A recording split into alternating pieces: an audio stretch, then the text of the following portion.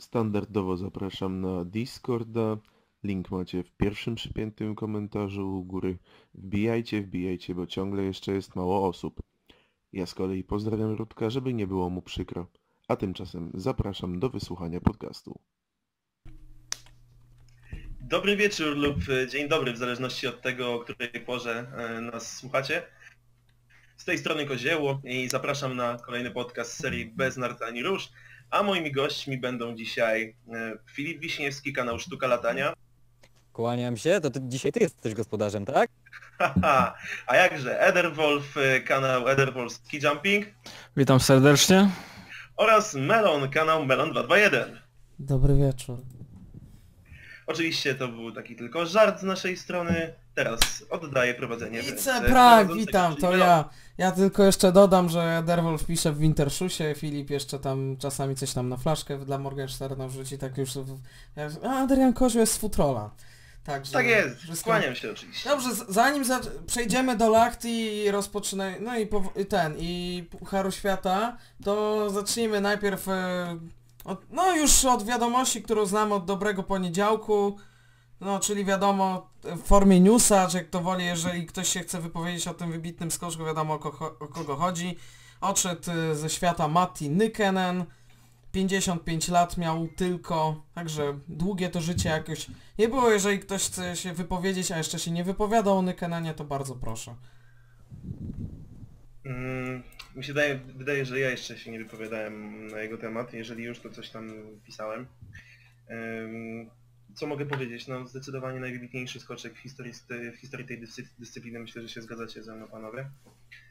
Ym, Smutek na pewno, bo odszedł młodo, ale można powiedzieć, że żył krótko, ale intensywnie i tego odmówić mu nie można, że właśnie korzystał z życia. Czasami zbyt intensywnie, jak wiemy, bo tam się różne skandale obyczajowe z nim w roli głównej działy. No ale ostatnio zdawało się, że uspokoił się, nawet wziął się za muzykę, zaczął śpiewać, miał koncert w Polsce zresztą, e, w szaliku, w szaliku e, Polski zdaje się śpiewał. Mm, No ale niestety, no z tego co wiemy odszedł nagle, tak powiedziała żona, że nic nie wskazywało na to. e, Wiadomo tylko, że miał cukrzycę i tak dalej, ale no no po prostu szkoda, szkoda. Cały świat skoków narciarskich traci mm, wybitnego człowieka.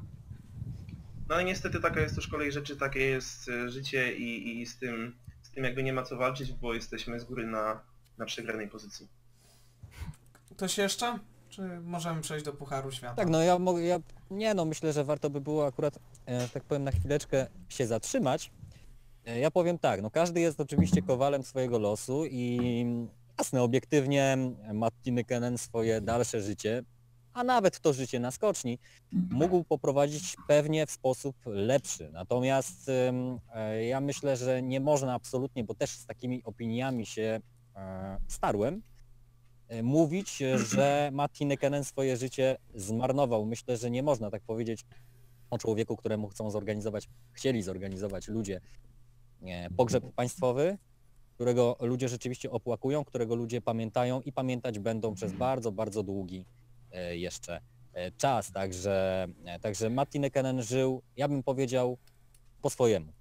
Po swojemu i nawet jeżeli to nie jest zgodne powiedzmy z naszymi zasadami moralnymi, bo on robił wiele rzeczy, e, które z ogólnie przyjętymi zasadami e, moralnymi wiele wspólnego nie miały, to myślę, że warto go zapamiętać przede wszystkim jako wybitnego sportowca, który no, bardzo trwały ślad zostawił na tej dyscyplinie, zupełnie pomijając e, wszelkiego rodzaju kwestie e, kłótni o to, czy to klasyczny, że nie można tego porównać. Jest to wybitna postać na pewno w świecie skoków, e, o której będziemy pamiętać e, bardzo, bardzo długo. Być może także troszkę z powodu e, tego nietypowego stylu życia. Może Edar? Ja myślę, że temat został kompletnie wyczerpany. Dobrze. No to przejdźmy do Pucharu Świata w Lachti. Dzisiaj odbyła się drużynówka, zwyciężyli o Austriacy po, dwa ty... po raz pierwszy od 2017 roku i Oslo, które rozpoczynało Rower. Drugie miejsce dla Niemców, trzecie miejsce Japonia, Polska dzisiaj czwarta. No i poza drugą serią dzisiaj Norwegia i Rosja. W paru zdaniach jak możecie opisać dzisiejszy konkurs drużynowy? Cisza. Cicho, Musisz nas sam. wywoływać do, do, do tablicy nas, nas musisz wywoływać, No no to niestety. Filip niech zacznie w takim razie. E, No, wydaje mi się, że ja już, ja już to powiedziałem, tak nie pamiętam, no ze dwa tygodnie temu, czy tydzień temu, zresztą to nie jest oczywiście nic odkrywczego, że Stefan Horngacher w kontekście drużynówki Mistrzostw Świata w Zefeld, gdzie oczywiście będziemy ty bronić tytułu mistrzowskiego, no widzi ten skład y, klasyczny, tak? No ja nie chcę mówić może do końca klasyczny, dlatego że mm, w Pjongczangu, gdzie zdobyliśmy medal brązowy, oczywiście Piotra y, Żyłę zastąpił Stefan Hula, natomiast myślę, że Stefan Horngacher od początku tak naprawdę widzi skład Kot, Kubacki, Żyła, Stoch. Oczywiście tutaj kolejność jest zupełnie przypadkowa, ten układ pewnie będzie inny. No i dzisiejsze, e, dzisiejsze skoki e, niejako pokazały i myślę, że trochę utwierdziły Stefana Horngachera w przekonaniu, że warto na tego Macieja Kota jednak stawiać i warto przynajmniej próbować doprowadzić go do formy, która będzie umożliwiała pewne starty w drużynówce. Tu oczywiście nie chodzi o to, żeby biczować Jakuba Wolnego, bo, bo dzień gorszy może się przytrafić każdemu i, i to nie musi być wcale zasada. Na pewno e, z, z taką dużą falą krytyki się Jakub Wolny spotka, no co jest normalne w życiu sportowca każdego. E, Ale, ale myślę, że ten dzień e, pokazał, że Stefanowi Horngacherowi, że ta droga, którą obrał, ta myśl, którą tak myślę obrał, jest słuszna. Eder? E, dosyć... Nie, wiem- nie wiem jak określić ten konkurs, ale... Ja, znaczy ja bym bardzo chciał od razu przejść do wyników stricte naszych drużynowych, naszych drużyno, naszej drużyny. Zobaczcie mi tutaj promka od Facebooka. Eee, s- Pierwszą rzeczą, którą chciałbym, o której chciałbym powiedzieć, to jest to, że straciliśmy dzisiaj, znaczy Niemcy zyskali e, 100 punktów w Pucharze Narodów i wydaje mi się, że, znaczy, hmm, jakby to ująć, ten cały, ten, ten cały konkurs, który dzisiaj obejrzeliśmy, był dosyć, nie wiem, dziwny, bo e, tak nie wiem jak go określić. Mm, Dla nas no, nie był on zadowalający. Bardzo fajnie wystąpili Austriacy. Norwedzy niestety, ale przez y, problemy Stiernena, gdyż Stiernen nam tam upadł w treningu chyba to było, czy w próbnej. E, No, no, no dosyć taki e, chimeryczny konkurs to był, w mojej opinii. E, Finowie weszli do, do ósemki, co mnie, co mnie bardzo cieszy, chociaż oni nie, nie- specjalnie jakoś nie walczyli o siódme miejsce, bo Czesi na, ewidentnie im odskoczyli. Gdzieś tam Szwajcarzy, bardzo ładne skoki Simona Ammana e, i Kiliana Pejera. No w taki dosyć konkurs, e, hmm, nie wiem, jak wy go ocenicie? Jakbyście go określili? Ja bym powiedział tak, dziwaczny jak każda drużynówka do tej pory. E, Eee, znaczy- tak. Ja myślę, że cały, cały, cały sezon jest dziwaczny i chimeryczny. Dla, dla każdej z drużyny. Tak, no tutaj przede wszystkim ja mam takie wątpliwości, oczywiście no nie jestem lekarzem, nie byłem też na miejscu wiadomo, ale, ale tak się zastanawiam nad tym Andresem Stiernenem. E, Ten upadek był podobno naprawdę poważny. Tak. e, I On wyszedł no jak z gumy. jak, jak, wiadomo jak, tak, wiadomo jak działa organizm ludzki, tak, on wytwarza w pewnych sytuacjach adrenalinę, nie czuje się przez jakiś czas bólu, tak, człowiek jest w szoku, ma wrażenie, że może latać po jakimś e, przykrym tak naprawdę dla organizmu zdarzenia, zdarzeniu. No Andreas Stiernen tutaj dopuszczony przez lekarzy do pierwszej serii, ten, ten upadek był w próbnej, czyli no ile, kilkadziesiąt minut prawdopodobnie przed, e, przed skokiem już w serii pierwszej. No i było widać, że tak naprawdę to Norweg nie jest e, zupełnie gotowy na to, żeby ruszyć z belki i wydaje mi się, że to mogło się skończyć jeszcze gorzej. E, Oczywiście jest zasada, że trzeba po wypadku, po upadku wrócić na skocznię jak najszybciej, o tym mówią sami zawodnicy, ale może jak najszybciej to nie oznacza e, godziny. E, Także tutaj, tutaj mam, mam, że tak powiem, pewne wątpliwości co do tej decyzji.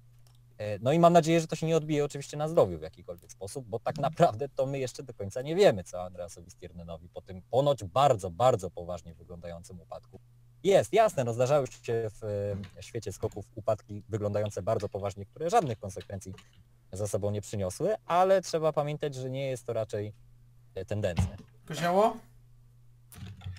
No, tutaj zgadzam się z Filipem, bo naprawdę mm, z tego co też słyszałem, upadek wyglądał fatalnie i to, że w ogóle zdecydowali się wystawić jego, a nie Daniela Andrefandego, który nie skacze jakoś fatalnie, żeby aż ryzykować zdrowiem i może nawet życiem No zawodnika. tak, ale, ale e, też trzeba, ja muszę powiedzieć, też trzeba pamiętać, że Daniel Andretante kontuzja, tak? Mhm. E, Kolano, które uniemożliwiało mu właściwie, mm, no z tego co czytałem, chodzenie. Także, także o skoku tutaj raczej też nie mogło być Mhm, mowy. W ogóle mhm, jeśli chodzi o. Daniela Andretandego, to, e, to tutaj pod znakiem zapytania stoją Mistrzostwa Świata w Zefeld ponoć. Być może jest to przesadzanie, być może jest to, jest to gadanie na wyrost. No ale szkoda by było też zawodnika, który widać było, że na tych lotach no to czuł się po prostu jak w, jak w czyśćcu.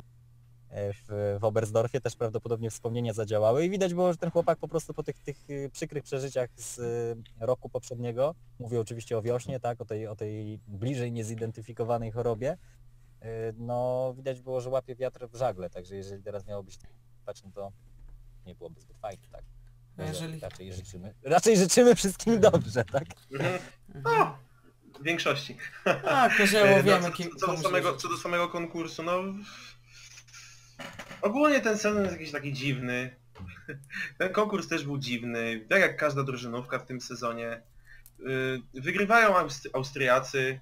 Co nas w sumie cieszy, powinno cieszyć, bo jakby no, Niemcy wygrali, to by no, odskoczyli o Oczywiście, 150 Oczywiście, punktów. że- Może nie odskoczyli, ale odrobiliby do nas 150 punktów. Jeżeli ktoś, jeżeli któryś z tych y, dwóch y, ojczy, jeżeli któraś z tych dwóch ojczyzn Hitlera miała wygrać, to tylko Austria. Umówmy się. E, oczywiście z przymrużeniem oka. to mówię. E, żeby potem nie, nie zdjęli Melonowi kanału. O, ktoś tu Em, chce chyba przejąć pałeczkę po mnie po Zakopanem. Dziękuję, bardzo dziękuję Ci Kozioło. Y, No i Już boty wyszukują słowo na H. Japonia, y, Japonia w ogóle trzecie miejsce.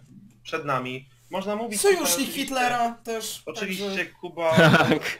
Kuba Wolny, no troszeczkę zawiódł, tak, no to, to, to nie są y, skoki nawet na jego potencjał, a co dopiero, żeby y, liczyć się w, w walce w takim konkursie drużynowym. Ale niestety muszę powiedzieć, że drugi skok zepsuł dzisiaj Stopy. Tak, oj, zdecydowanie.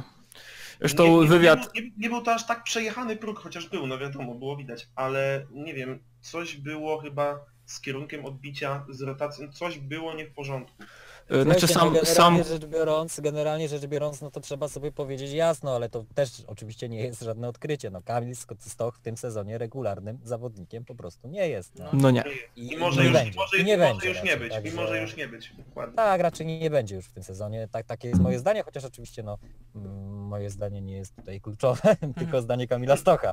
Natomiast natomiast no tutaj trzeba zawsze mm, e, zawsze brać pod uwagę, że to jest takie trochę to jest takie trochę siedzenie na bombie, tak? Bo Kamil Stoch w każdej chwili może może niestety skok e, Oczywiście nie straszliwie zepsuć, no bo też nie możemy mówić, że e, Jakub Wolny troszeczkę popsuł konkurs, bo skok na odległość 106 metrów to nie jest, e, to nie jest troszeczkę popsucie, to jest e, odległość, która po prostu akurat w tych warunkach, w tamtym momencie, no, no nie przystoi zawodnikowi, który jednak troszeczkę już w tym Pucharze Świata przeżył. Mm, tak.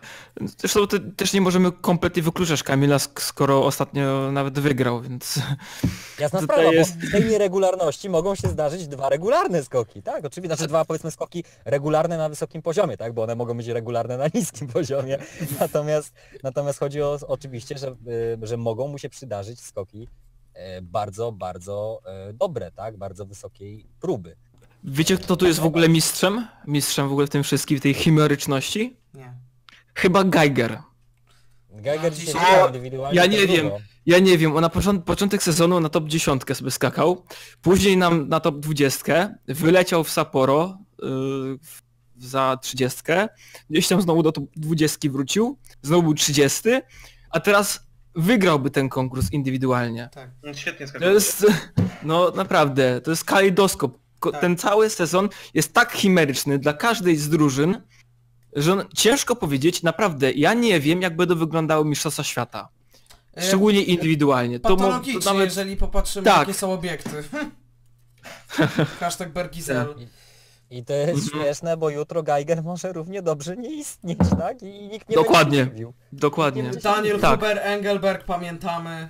Ej, mnie bardzo ciężko już będzie coś, yy, znaczy, mnie bardzo ciężko coś miałoby już zaskoczyć już będzie, naprawdę, to jest... Chociaż warto też powiedzieć dzisiaj, że mimo tego drugiego zepsutego skoku Kamil byłby dzisiaj na miejscu piątym. Tak, zgadzam Tak, się. tak, tak, w ogóle ogólnie nasza trójka była zaraz y, po sobie. Tak, tak, tak. No, dzisiaj najlepszymi punktami naszej reprezentacji byli y, Kubacki i Żyła. Mhm. gdzie, czego nie spodziewalibyśmy się po, po tym, co wydarzyło się ostatniego dnia w Oberstdorfie, gdzie mówiłem, na poprzednim podcaście u Melona mówiłem e, po sobocie, że e, Kamil w piątek zepsuł drugi skok, w sobotę zepsuł pierwszy skok, no to mówię, no to może w niedzielę będzie miał oba dobre. No i, Mm. no i tak się na szczęście stało. Kubacki miał dzisiaj najlepszy, y, najlepszy skok drugiej serii. Mhm. No, ja się My- nie my odzywam, także patrzymy- widzicie już jak My się patrzymy. Chyba całego tak, my patrzymy na, na, na właśnie Tak, chyba tak nawet. indywidualne, tak? Tam zdaje się czwarty Kubacki, piąty Stoch, szósty Żyła. I prawda Tak. też jest taka, że gdyby Jakub Wolny się dzisiaj spisał słabo, to, by, to my byśmy ten e, konkurs wygrali. E, I, I tyle. Natomiast e, Jakub Wolny moim zdaniem spisał się dzisiaj, mówię bez biczowania, bo to nie o to chodzi, no to stwierdzamy fakty, no dzisiaj spisał się gorzej niż słabo i, Mhm, mhm. i, taka, i taka jest niestety No niestety rzeczywistość. skoki były beznadziejne, zwłaszcza ten drugi. Wystarczyło tak naprawdę w obu skokach oddać po te 116-117 metrów. Ale powiem szczerze, że mi się trochę Kuby trochę żal zrobiło po tym, jak widziałem e, fragment wywiadu. Jednak zrozumiał, dotarło do niego, że niestety, ale przekreślił swoje szanse na, e, na skład w drużynie, na Mistrzostwa Pisałem, Świata. pisałem właśnie o tym na Twitterze, że wydaje mi się, właśnie dzisiaj, że wydaje mi się, że tym konkursem ym, Kuba Wolny ostatecznie przegrał jakiekolwiek szanse na miejsce w Tak. No to tak, mówiłem właśnie. wam o tym właśnie, tym bardziej, że to nie jest tak, że Kuba Wolny miał tutaj jakiś słaby weekend, bo on przecież w kwalifikacjach zaprezentował się no nieźle. E, Tak, i, i, i no gdyby powiedzmy to była taka sytuacja, że on tutaj od początku w tym Lachti no nie daje rady, tak? No to jeszcze można byłoby to zrzucić na kar powiedzmy, no nie wiem, podeszła mu skocznia, tak? Zły ma dzień. E, Czy, czy, przepraszam, zły ma weekend, tak? Czy nie wiem, czy jest zmęczony Jak po na Natomiast tak, natomiast, y, natomiast tutaj ewidentnie chodzi o sprawę tego, że to jest występ w drużynie, to jest pewnego rodzaju odpowiedzialność. Oczywiście Jakub Wolny ma szansę, i ja jestem przekonany i w to wierzę, nauczyć się radzenia sobie z presją, z pewnym ciężarem oczekiwań, natomiast prawdopodobnie nie będzie miał okazji nauczyć się jeszcze na Mistrzostwach Świata. No, ja się nie odzywam, także od razu podcast staje się ciekawszy, ale, ale trochę to zepsuje, bo wypadałoby coś tam powiedzieć. Generalnie ta drużynówka mi się nie podobała, była po prostu strasznie nudna, skoki nie powalały, no było parę wyjątków. Y, Na pewno na plus Karl Geiger, który był zdecydowanie najlepszy z Niemiec, y, z Niemców. Bardzo dobre skoki Yuki Sato, ale widać, że Salpo Selka mu leży, bo w zeszłym sezonie bodajże też chyba nawet miejsce w pierwszej dziesiątce zaliczył, albo w drugiej w zeszłym sezonie, także Sato polubił ten obiekt i zdecydowanie dobrze na nim skacze. Cieszy miejsce w ósemce Finów, ale powiedzmy sobie szczerze, gdyby nie to, że Stiernen wcześniej zaliczył ten groźny upadek, to raczej Finlandii byśmy nie oglądali. No a tak w skrócie, no brawa dla Austrii, pierwsza wygrana, tak jak mówię, od 2017 roku i Oslo. Niemcy jak to Niemcy, Wellinger i Laje dzisiaj się nie popisali. Japonia solidnie, no Junshiro takie poprawne skoki, Ryoyu no jak na siebie mogło być lepiej, Sato tak jak mówię genialnie, Polsce no zawalił wolny, Słowenia, Słowenia wyglądała dziwnie, czasami były całkiem fajne skoki, a czasami wyglądało to tragicznie. Szwajcarzy całkiem nieźle, Aman i Peje zdecydowanie skaczą sympatycznie i jest szansa na top 10 na Mistrzostwach Świata w Zefel, któregoś z tych dwóch skoczków. Niezłe skoki Petera, też Schuler nie zawiódł jak na swoje umiejętności. Czesi, jak to Czesi, Polaszek bardzo dobry skok w pierwszej serii, Kołderka, Kołdelka, solidne dwa skoki, Chlawa i Korziszek raczej tacy e, dodatkowi po prostu, żeby skakali. No i ta Rosja, która nie istniała. To tyle jeśli chodzi o moje zdanie, jeśli chodzi o konkurs drużynowy. E, ja- Właśnie, jeśli, jeszcze na chwilkę się zatrzymamy przy Słowenii. Czyli co? Jednak po raz kolejny jak trwoga to do Jerneja Damiana. Y, Bardzo dobre skoki dzisiaj i wydaje się, że, że znów będzie pewnym punktem drużynówki na, na Mistrzostwa Świata, a już, już niektórzy wyrokowali, że nie ma szans, że Damian już odchodzi Problem- niebyt, że nie ma, że tutaj w ogóle, no i ja dzisiaj No, bardzo dobre dwa skoki. problem ze Słowenią jest taki, że- problem że ze Słowenią jest taki, że kur... nikt nie wie kto tam tak naprawdę wystartuje, bo Bertoncej wystawił tylu skoczków, że na Puchar Świata, że cholera wie kogo on tam wystawi i dowiemy się wszystkiego po Willingen, tak naprawdę. Słuchajcie, generalnie rzecz biorąc, to w skokach zawsze to tak wyglądało, ale w tym sezonie to już wybitnie to tak wygląda, że tak naprawdę jakieś pierwsze osądy, jakieś pierwsze konkretne opinie na temat tego, kto może wygrać, kto może przegrać, kto będzie pierwszy, kto będzie drugi, kto będzie trzeci, to będziemy mogli dopiero po treningach e, na skoczniach mistrzowskich e, tutaj wygłaszać. E, Oj, nie zawsze bo- też Filip. bo- A nawet nie zawsze, ale, ale w ogóle... Szczególnie w sezonie. Ale jasne, nie, nie, ale wiesz o co chodzi, nie? Że w Wiem, ogóle, wiem. Że w ogóle będziemy mieli w ogóle jakąkolwiek podstawę, bo podstawą ani nie jest konkurs drużynowy w Zakopanem, ani nie jest konkurs drużynowy w Lachti. Tak naprawdę musimy zobaczyć tam, co się będzie działo i na podstawie tego i pewnej probabilistyki będziemy w stanie oszacować mniej więcej, co się może zdarzyć. Natomiast póki skoczkowie się w Austrii nie zameldują, to my tak naprawdę nic nie wiemy. Tutaj Filip zarzucił mądre słowo, też chciałbym zarzu- ten zauważyć. Tak, mogłem powiedzieć zamiast oszacowania, że estymować jeszcze. Ale już sobie darowałem. Dobrze, ja bym zamknął klamrą rozdział konkurs drużynowy i przeszedł tak na szybko jeszcze do wyników kwalifikacji wczoraj. Odpadło, można powiedzieć, takich siedmiu przegrywów, bo inaczej ich nie, nazwać się nie da, no bo 57 zawodników na starcie kwalifikacji to jest jebany żart, za przeproszeniem. I więcej... Nie, bez przeproszenia. No, no Nie, ale... Przeprosiny tu nie mają sensu, bo No nie no, się jakość. no bez awansu oczywiście Kevin Malcew między innymi, także Jarko Mete, Juri Tepesz, Peter Preutz też nie dostał się do konkursu, także ciekawie, ciekawe, chociaż kwalifikacje też według mnie nie powaliły. A Jakie jest wasze zdanie? Ktoś oglądał z was, z was piątkowe kwalifikacje? No, tak jednym okiem, wiesz. Jed, jedno oko oglądało, drugie oko spało. Mm, E, także Nudne kwalifikacje. Niech to, niech to będzie rekomendacja tak, tak. dla kwalifikacji. Tak jest. Zdecydowanie tak, ja jeszcze tylko tak na szybko. Tepesz, Korziszek, Mette, Preut, Siergiejew, Hazetinow i Malcew. Yy, Paweł Wąsek awansował fartownie 49, Żyła 36, Kot 16, Wolny 12, Stok 9 i Kubacki 5. Nie będę nic mówić o formie Maćka Kota, no skok dobry, ale pokażę konkurs tak naprawdę. Czy będą te punkty, Czy nie czy nie? przekombinuje, nie? Tak, Czy dokładnie, nie dokładnie. No.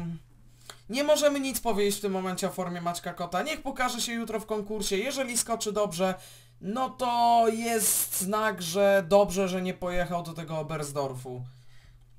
No I- przy takim błędzie na progu, tak gigantycznym błędzie, który no, skutkował tym, tym bardzo mocnym, bo no, umówmy się, na Maciej Kot zazwyczaj się po prostu skręcał na początku lotu, natomiast przy takim bardzo pogłębionym błędzie, no mogło się to skończyć, nie mówię, że jakąś niebezpieczną sytuacją, ale na pewno dużą frustracją. Natomiast ja właśnie słyszałem wywiad z Maćkiem Kotem, ten wczorajszy po kwalifikacjach, no to z tego co on mówił, to tam w pierwszym skoku treningowym, no to jakiś Madagaskar zupełny był, bo chciał przeskoczyć skocznie, sam powiedział, że mu się coś takiego uroiło w głowie. Efekt był taki, że, że skok był dramatyczny, natomiast dobrze, że nie zrobił tego w kwalifikacjach, bo byśmy znowu Macieja Kota nie Tak jak w konkursie. Niżnym tak? Tagile. tak, no na przykład, na przykład. byleby w Zefel nie miał takich myśli w drużynówce Ta. i będzie okej. To jest, to jest dziwne, nie? Skąd się takiemu inteligentnemu facetowi czasami takie rzeczy, takie rzeczy przydarzają? No ale Tak, sam tak, się przyznał do błędu i się z tego śmiał, także no, No. no, no. No, Generalnie Myślę, że Maciej nie powaliły. No. generalnie potrafi uczyć. Tak? No, generalnie kwalifikacje nie powaliły żadnego skoku powyżej punktu Hillsize. Do awansu starczyło zaledwie 101 metrów, nawet no dokładnie 101 metrów, bo tyle skoczył Maksimoczkin. Mniej niż Adam Małysz skoczył na Mistrzostwa Świata w Sapor. Także, no Wąsek zrobił, le- y, Wąsek zrobił legendarne 102 Ale metry. więcej niż w Lachti na normalnej. Tak, tak, tak. Generalnie y, cieszy mnie całkiem niezła dyspozycja Gregora Schlierencauera, bo jeżeli jutro nie, czegoś nie odwali, to punkty są jak najbardziej w jego zasięgu. Całkiem niezłe te skoki też oddaje Filip Aschenwald, który pokazał na lotach, że potrafi odlecieć i teraz w Lachti też całkiem nieźle się prezentuje. No, zwłaszcza w pierwszej serii dzisiaj. No tak, tak, w drugiej nieco gorzej, ale Schlierenzauer też nieco gorzej w drugiej serii. Mm, Antial to też bardzo dobry skok w kwalifikacjach, czwarte miejsce, 128 metrów, no i Granerud też dosyć No ale dzisiaj wysoko. Alto kiepsko w drugim skoku. Generalnie wychodzi na to, że Granerud y, wychodzi na jednego z równiejszych Norwegów w tym sezonie, poza paroma wyjątkami, ale Granerud całkiem przyzwoity sezon, jak na Norwegię. A mnie ciekawi forma na przykład Highbecka. O, W, w kwalifikacjach był dziewiąty, dzisiaj też był dziewiąty. Więc jestem ciekawy, czy ustabilizował jakoś tą formę na No top właśnie, 10. też jestem ciekaw Highbecka. Mnie w ogóle ciekawi highback, nie? Mhm, przypominam, tak. Jaki to był skoczek w roku 15, w roku 16 na przykład, tak? Tak. To był skoczek absolutnej czołówki e, światowej. Ja pamiętam taki okres właśnie wyjazd do Finlandii w tym takim sezonie dominacji Petera Preuca. No, Lahti 2000, Kuopio. Tak, 15-16. Tak, 15-16. E, No, i- no i on, on był tym, tym zawodnikiem, który potrafił Petera Preuca przynajmniej na jakiś czas zatrzymać, tak? No to był zawodnik absolutnie topowy. No i, i, i od pewnego czasu mm, pojawiły się pewne problemy. To już trwają one chyba trzeci sezon. Coś się popsuło. Natomiast tak, coś się popsuło. Natomiast Czy trzeba pamiętać, że to 16, jest- 17, Tak, tak. Mhm. 16-17 jeszcze sobie tam wygrał, punktował bardzo dobrze. Znaczy jak to on nierów, już nierównomiernie, nierówno. No bo tam wygrywał, gdzieś tam spadał do top 20, do top 30. No tak, już się zaczęło... Ale, ale, ale, ale jednak miał kilka tam podiów, dopiero tak 17-18 to już taki spadek. Mm, regres. Zastanawiające, zastanawiające, no ale jakby w skokach y, myślę, że nas to nie dziwi specjalnie. Bo... No nie. Generalnie Austriacy całkiem niezłe skoki tutaj oddają, także mm, zobaczymy co to Zefeld pokaże.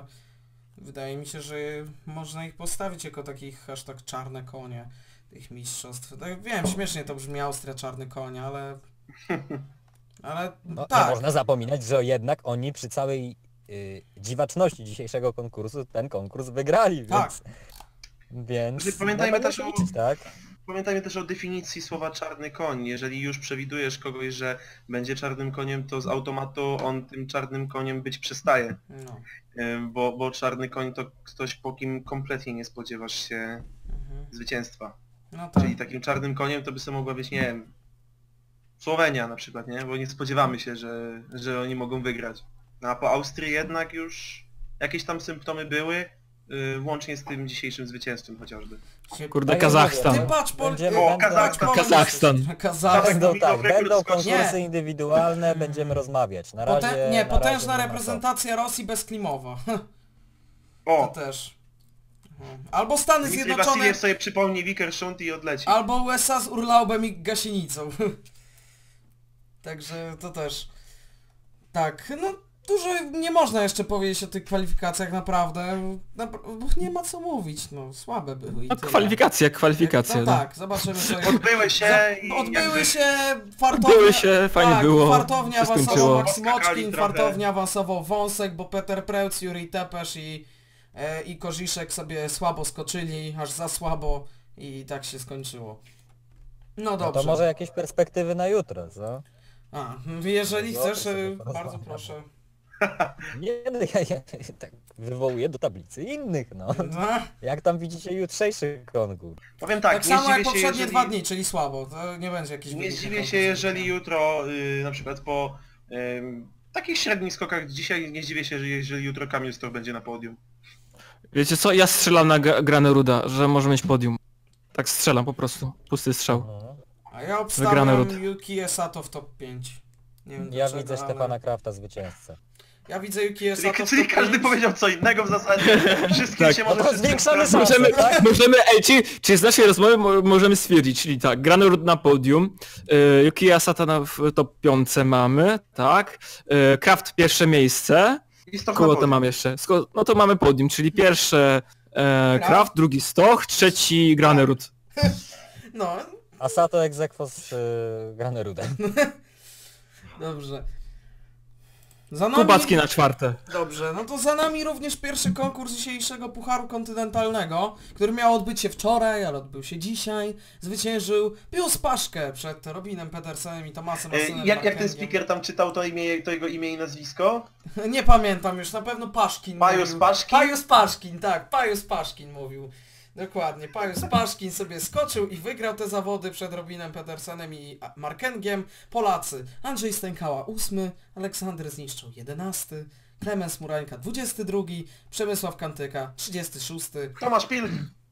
E, w Fiskapie, dziękuję. Aha! Jednak...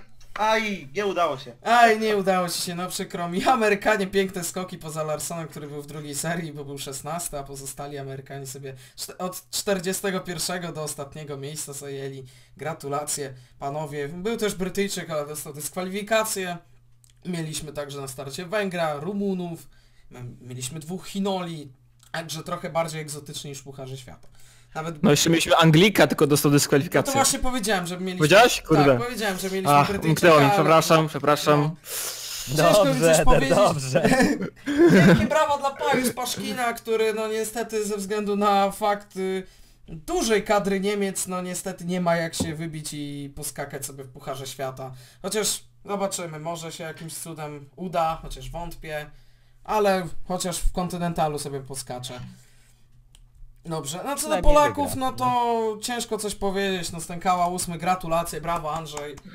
Brawo Andrzej. Brawo zakłady mięsne Szubry, Tania Ochłeć już nie są jego sponsorem. No Aleksander zniszczył król kontynentala, 11 miejsce dzisiaj przegrał sobie ze Stękałą. Nie, nie bierzmy go na razie na Puchar Świata, no bo to CS pokazał, hashtag. Kozioło to się na pewno ze mną zgodzi, bo go nie lubi. Hmm. Mm. Pomidor. Powiem, wam, że macie poważne argumenty. Powinien poważniejszej być nie mogło, no. No i ha ha ha 13-latek, 22, tak jak już wcześniej 121,5 i 127. Clemens, Clemens, Clemens, y, dalej wiersza nie powiem, bo, nie, bo go nie zrobiłem. Dobrze. Tak. no jak się patrzy na te... Ja bym w sumie miał fraszkę, ale lepiej nie powiem. A bardzo tak, proszę patrzy mów. się na te... Nie, nie, nie, nie. Mów, patrzy się nie, te. Po, wyniki po, po, Murańka. po tym, po antynie. A, Murańka no dobrze, to poza Stękała, to anteną. chcia, chciałoby się powiedzieć proza życia, tak? Dla No, ciekawskich, proza e, życia. dla ciekawskich proszę wysyłać pieniądze. E, Numer konta bankowego macie w e, opisie. Także tam proszę wysyłać pieniądze, a ja wyślę te fraszkę.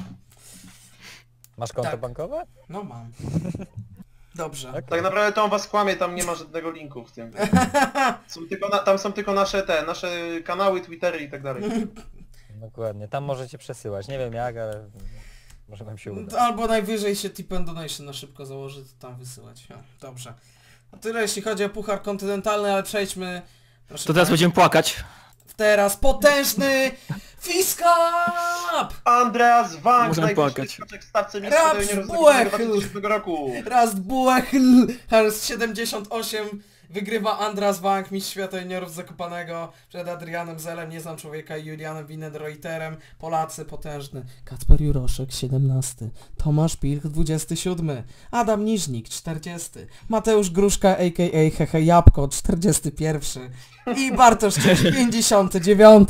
Bartosz Czyż, wielkie brawa, 59 miejsce, kolejny Tomasz- potężny Tomasz Pilch Egzekwo. Egzekwo z Peterem Rezingerem, którego pierwszy raz na oczy widzę. Kozieło, proszę mów, bo ci przerwałem. Albo ty mi Nie, mówię, że. Tomasz Pilch chyba znalazł swoje miejsce na ziemi wreszcie. I tu, Yy, bo- i tu Bo wypada nie jest to zaśpiewać... świata, nie jest to nawet puchar kontynentalny. I, I tu Eee, wypada... Przepraszam, tu Nie wypada... jest to kontrakt z Red Bullem, jest to pisko. Wypada tutaj zaśpiewać piosenkę Tadeusza Woźniaka. Wiadomo jaką. No No. to zaśpiewaj. No i zapomniałem tekstu, no Jezu, pamiętałem, ale kozioło mnie z... Damy, damy ci czas, możesz... Ale nie, Dokładnie. no bardzo proszę, mów. Jury Kozioło. siedzi tutaj. Co ty tam mówiłeś jeszcze? Tak nie ma specjalnie o czym gadać. A, bo ty mówiłeś, że możesz znalazł sobie zaprezentować. miejsce. No. No, to mówiłem, ten, pasuje, że na tej ziemi pod tym niebem życie nasze toczy się, dzień jak co dzień, dzień jak dzień po dniu, co, wciąż się dzieje życia cud i y, Ale życia to cud jest Tomka recytuj, Pilcha. Nie recytuj, No. nie, nie, Nie, nie, będę śpiewać, nie, nie będę się kompromitować, tak? Tak, już wystarczy, że ja występuję w tym podcaście, to już jest jedna wielka kompromitacja, to ja podwójnej kompromitacji Jakby nie, nie będę było ciebie, to nie liczyć. byłoby podcastu, więc jakby o czym mówimy. Dobrze, ale, ale sam fakt, że się tu odzywam. Oj tam, oj tam, przesadzasz. Przes... Ja nic nie wcale przesadzam. mówisz. Wcale nie jesteś taki zły. Ta, Wcale nie jest tak źle. wcale nie jesteś taki zły, ty po prostu jesteś chujowy. W ogóle ci, w ogóle ci tego nie mówię, żeby teraz podbudować twoją samoocenę. Wcale. Nie mówię tego wcale jakimś sztucznym W głosem. ogóle wielkie brawa też dla Serba Nikoli Stefanowicza, 34 metry. Wielkie brawa. To był naprawdę bardzo dobry skok. W ogóle zauważyłem, że Może na starcie był też się potężny po prostu. Nie, no 8,7 punktu dostał za swój skok. Żyć nie umierać. W ogóle zauważyłem, że był inny Bułgar na starcie. Był taki człowiek jak Krasimir Smitczyński. Pierwszy raz na oczy widzę. Ja się nie znam na skokach. Wy tam jakieś lokalne oglądacie. Ja tam nic takiego większego nie śledzę. Może ktoś z was zna takiego Bułgara, ja na przykład nie. A jasne, osobiście. Nawet masz z nim autograf, ja wiem, nawet masz z nim zdjęcie, masz od niego autograf, ja wszystko rozumiem. W ogóle gratulacje też dla Fatiha Ardi Pciogu, który zajął 51 miejsce i za to, że też wyprzedził właśnie potężnego Bartka Krzyża, który skacze zresztą cały sezon. No tyle jeśli chodzi o Fiskap i jeszcze zahaczymy sobie o Puchar Świata Pań, gdzie pierwsze punkty, trzecie punkty historyczne Kamila Karpiel, 30 miejsce w piątek. Dzisiaj akurat była drużynówka kobieca. Wczoraj wy- zwycięstwo Maren Lundby, która sobie spokojnie zmierza po drugą kryształową kulę z rzędu, druga była I Sara już leciutko Takanashi. sobie, tak. Drugie miejsce Sara Takanashi, trzecia była Ursa Bogataj, jak więc e, gospodyni była na podium, tak jak mówiłem Kamila Karpiel 30, Kinga Rajda 40, okrągłe liczby, hashtag lubimy. No. Generalnie Tak, i cięż... Kamila Karpiel, Kamila Karpiel warto przyznać, że miejsce w 30 w dużej mierze dlatego, że sędziowie są ślepymi kretami. Nie wiem, choć się domyślam. Dobrze. Cicho. Ale ja nic nie mówię. Tak. Dobrze, jutro zobaczymy czy Maren... Co Maren Lundby? No Maren Lundby ciekawe czy wygra. O, wybrnę. I czy... Ciekawe. Mhm, Ciekawe. No i jutro zobaczymy też czy Polki znajdą się w ogóle w e, drugim konkursie niedzielnym. Czy To jest mniej więcej czy- tak samo ciekawe, to jest mniej więcej tak samo ciekawe, czy jutro wygra Maren Lundby, jak ciekawe było swego czasu, czy Ryo Kobayashi wygra kolejny konkurs. Mhm, Tak czy samo- Sara Tak Takanashi samo w zeszłych... ciekawe, tak samo nas Tak intryguje. jak, tak jak Sara Takanashi w poprzednich latach, która wygrała wszystko. Albo też Sara Hendrickson ze swojego pierwszego sezonu w Pucharze Świata Pani 11-12 tak samo robiła. Dobrze, no to generalnie mamy nadzieję, że Kamila Karpiel powtórzy, może nawet wyżej niech, y, będzie niż te 30 miejsce, no bo co tak, nieładnie tak patrzeć na taki jeden sam, samotny punkcik. Chociaż dwa No. samotne punkciki wypadałoby zdobyć. Tak, tak, dwa już wyglądają jest lepiej, już, z już im tam automatu nie są samotne. No, Dokładnie, już, już im jest raźniej tam. tak, Nawet dokładnie. jeżeli mają inne poglądy polityczne. Nie, Boże. Tak, drogi YouTubie, proszę nie zdejmować tego podcastu. My nie istniejemy, to, to nie trafi. Dobrze. Hmm, Ja bym na tym zakończył. Generalnie y, jeszcze jako taki mały off gratulacje. Y, Kietil Jansrud, złoty medal dzisiaj w zjeździe panów y, na Mistrzostwach Świata w Ore przed Axel Lundsfindalem i Vincentem Krischmeierem. Bez medalu faworyt Beat Voigt. A w biegach narciarskich znowu wygrał Klebo. Kogo to interesuje? Biegi narciarskie w Polsce obecnie są aż tak nikogo. To ja zrobię jeszcze taki A, malutki jeszcze jedno, przepraszam, e, historyczne punkty Grzesia Guzika. 24 miejsce w Kenmore, brawo. Bieg indywidualny, gratulacje Brawo. Grzesio. E, naprawdę Tak jest. jesteśmy z Ciebie dumni i będziemy Tobie stawiać wszystkie laurki jakie można. To by było na tyle, ja dziękuję bardzo za udział. Jeszcze Kozieło chciał coś powiedzieć, bardzo proszę. Tak, jeszcze taki malutej, maluteńki, my dosłownie maluteńki przerywnik z piłki nożnej. Dzisiaj Real Madryt wygrywa z Atletico w derbach Madrytu, a Borussia Dortmund w Bundeslidze prowadząc 3 do 0 z Hoffenheim zremisowała 3 do 3 w ciągu 12 minut. Tak, dziękujemy za te małe wiadomości piłkarskie. To był Adrian Kozioł. Social media. Bardzo mi macie- miło, kłaniam się. To był social media, macie jego w opisie dokładniej Twittera. Ze mną również był Filip Wiśniewski, Sztuka Latania, Flaszka dla Morgensterna Dzięki za zaproszenie. oraz Ederwolf e, z kanału Ederwolf oraz Winterschusa. Szczęść Boże. Do usłyszenia Państwu za tydzień w Willingen. Dobranoc. Do widzenia.